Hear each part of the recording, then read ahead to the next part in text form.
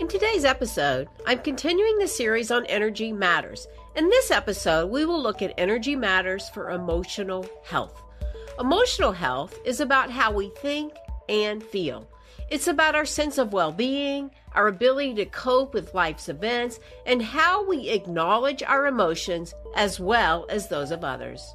And let me just add, it doesn't mean being happy all the time. Spiritual bypassing how you feel will not strengthen your emotional health. Spiritual bypassing is a way of hiding behind spirituality or spiritual practices.